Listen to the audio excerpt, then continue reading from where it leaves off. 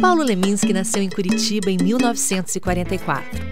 Dono de uma extensa e relevante obra, Leminski inventou um jeito próprio de escrever poesia, contos, ensaios, músicas e um jeito próprio de viver. Aos 14 anos, foi para o Mosteiro de São Bento e ficou um ano inteiro por lá. Casado com a também poetisa Alice Ruiz, teve três filhos, Miguel, Áurea e Estrela. Poliglota traduziu diversas obras.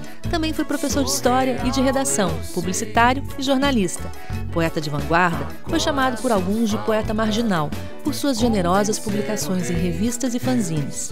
Teve suas músicas cantadas por Caetano Veloso, Paulinho Boca de Cantor, Moraes Moreira, Pepeu Gomes, entre tantos outros. Sua obra impressiona assim como seu legado. Deminsky é referência do movimento cultural nos últimos 30 anos e continuará sendo. Apoio Sociedade Brasileira de Dermatologia do Paraná. 60 anos fazendo parte da história da nossa gente.